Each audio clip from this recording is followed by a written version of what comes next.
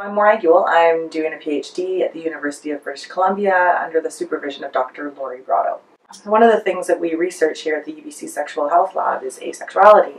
And for those of you who haven't heard, heard of it before, asexuality is a lack of sexual attraction to anyone at all. It's generally thought of as being a sexual orientation.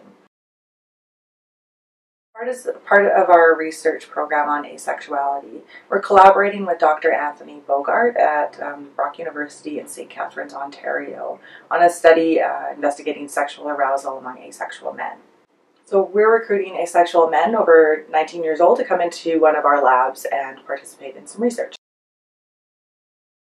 In an equivalent study that we ran few years ago on asexual women, we found that asexual women had similar levels of sexual arousal compared to women of other sexual orientations. So, um, heterosexual women, lesbian women, and bisexual women. What this suggested is that asexuality is not a dysfunction of sexual arousal in any way and may be best conceptualized as a sexual orientation. We're now recruiting asexual men to participate in the male version of this study and hope that our findings will increase our understanding of asexuality and also decrease any stigma that might exist around asexuality or a lack of sexual attraction.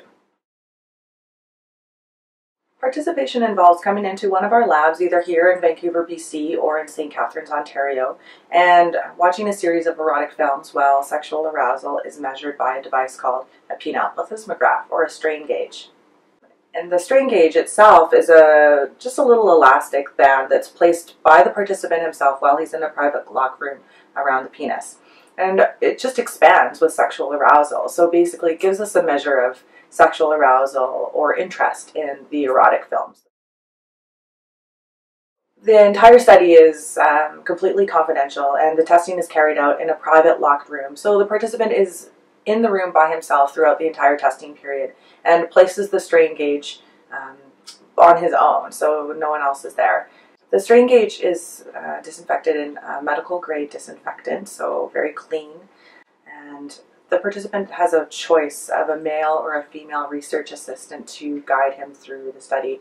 We're making every effort to make this comfort as comfortable as possible for participants. Participants will also be filling out some questionnaires before they go through the sexual arousal testing. Um, and there is an optional second phase of the study where participants will engage in sexual fantasy while wearing the strain gauge. Uh, we're able to pay participants $50 for the first phase um, and about and $25 for the optional second phase. So there's the potential to make $75 for participating in this research. We're currently looking for asexual men 19 years or older to participate in this research. Um, if you're interested or have any questions, please get in touch.